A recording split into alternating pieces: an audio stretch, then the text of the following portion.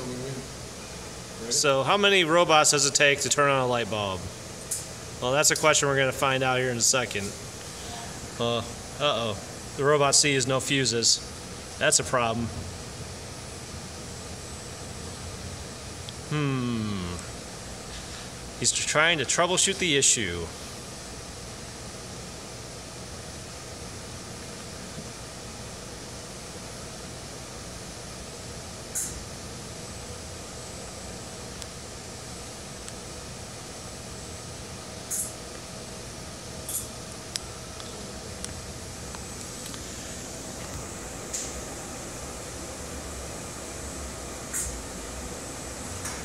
And you can see the delicate work of the fuses being put in the fuse holder.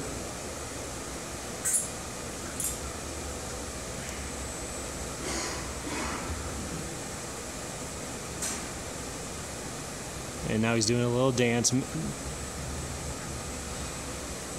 Then he realizes it's not done. Or maybe it is.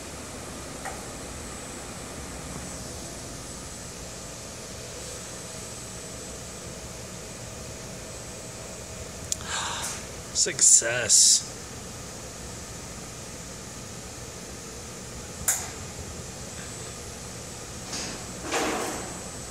What a wonderful idea, robot.